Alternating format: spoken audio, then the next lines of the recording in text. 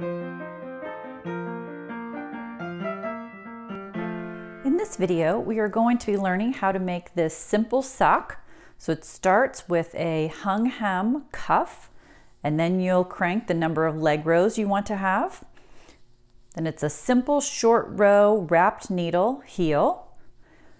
You'll crank the number of foot rows you calculate, and then the toe method is the same as the heel, and then we will Kitchener the toe shut. This is designed to be a crank along, so I hope you'll grab your supplies and come join me. For supplies, you're going to want 100 grams of sock yarn, which is about 400 yards. Uh, fingering weight sock yarn works best on the Dean and Bean sock machine, and we always recommend 20% uh, nylon.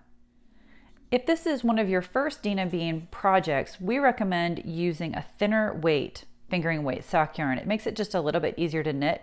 Here I have two side by side. You can see these are both considered fingering weight sock yarn, but this one is actually quite a bit thicker than this one. So the thinner the yarn, the easier it is when you're first learning. The tension can just be a little looser and it's just a little bit more forgiving.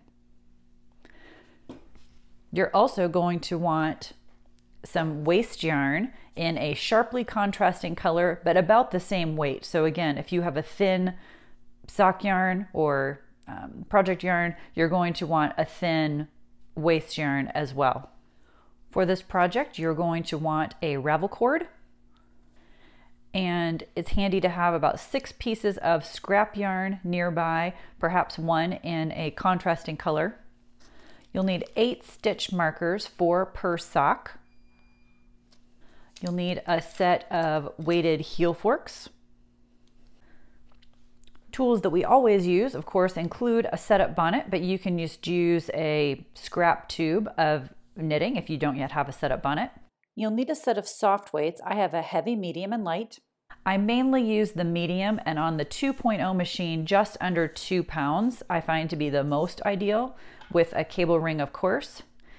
And then from this set of tools, I have the loom tool, which is a little less sharp have a pick tool, which is very sharp, a latch tool, uh, some darning needles. I always always keep my screwdriver nearby, a pair of tweezers for picking up drop stitches. And then it's often handy to have some weighted clips. I also like to keep my yarn winder nearby so that after you crank your gauge swatch, it's easy to wind the yarn back up and go again.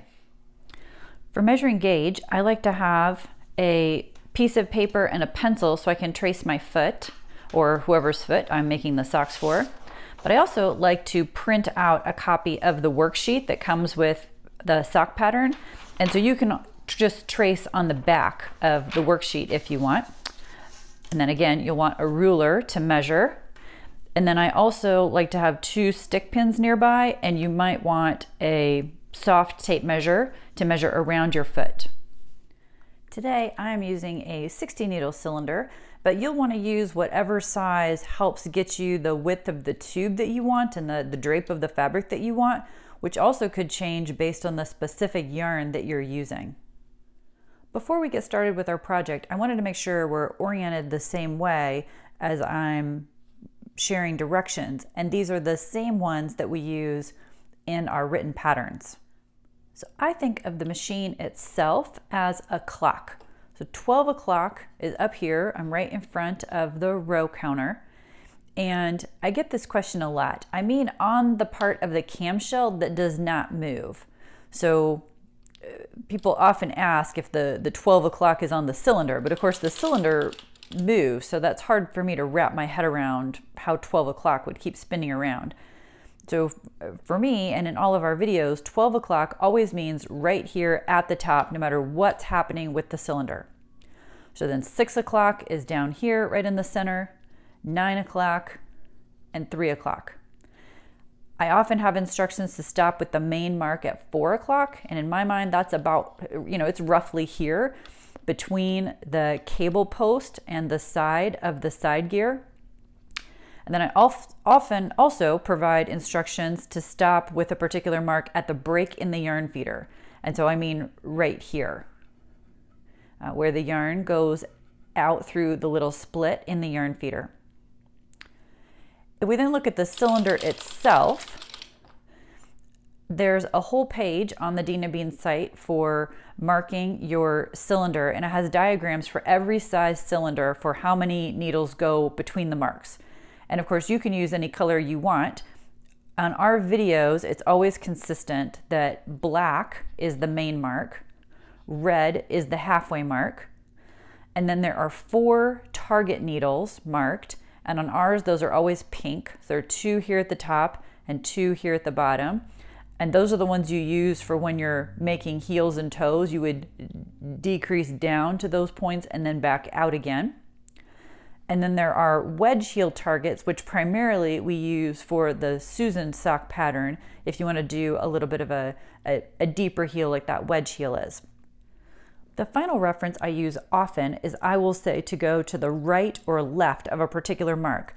And I always mean when looking at the cylinder from the outside. So if this is the main mark and I'm referencing the needle to the right of the main mark, it's this needle. Okay, so the one to the right when you're looking from the outside of the cylinder. Sometimes that's confusing if it's all the way over here because it, you know, this way looks to the right to us. But I always mean from looking the outside of the cylinder. I, I, I try not to make that reference if the mark is sitting up here somewhere, but I often talk about that when the, when the mark that I'm referencing is somewhere in this area going right or left of that mark. Visit us at deanandbean.com and please like and subscribe. Thanks for watching.